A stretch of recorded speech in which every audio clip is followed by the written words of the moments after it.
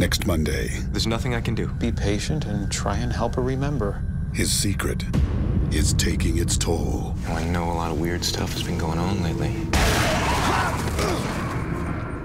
I'm not sure I can do this anymore. Hank, And to save his partner, we're looking for a missing girl.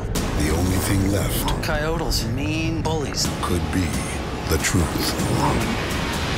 What just happened? I can explain. New Grimm, next Monday, here on NBC.